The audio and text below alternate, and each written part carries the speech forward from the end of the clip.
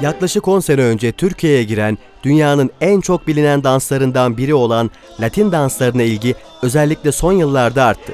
Kadın erkek genç yaşlı demeden salsa, bachata ve cha-cha gibi Latin danslarına merak saran Marmarisliler ilçede bu yönde açılan dans kurslarına büyük ilgi gösteriyor.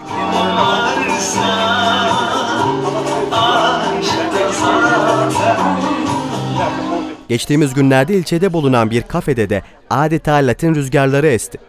Dansçılar kıvrak dans figürleriyle izleyenleri kendilerine hayran bıraktılar.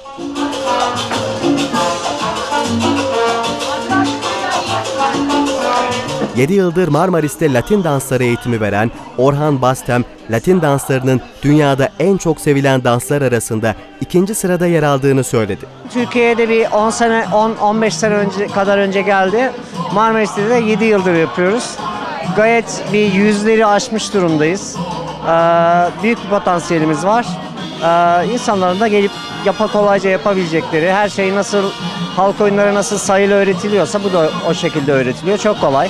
Bastem ayrıca yazın burada dünyanın hemen her yerinden gelen dansçıları ağırlıyoruz dedi. Yazın Marmaris'te Türkiye'nin her yerinden hatta dünyanın her yerinden dansçıları ağırlıyoruz. Yani şu an buraya bakarsanız Adana'dan arkadaşımız var, Ukrayna'dan var, Merhaba. Rusya'dan var. Bunda Funda Zeytun ben. La Noche Dans Okulu'nda dans ediyorum. Herkesi dansa davet ediyorum.